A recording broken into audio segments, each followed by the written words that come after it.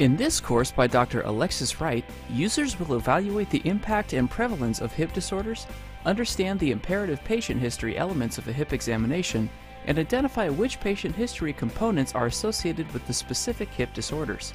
The most common forms of self-report outcomes measures are presented along with their minimal clinically important difference scores. Identify red flags germane during the hip examination and differentiate the purposes of each diagnostic test for sinister problems.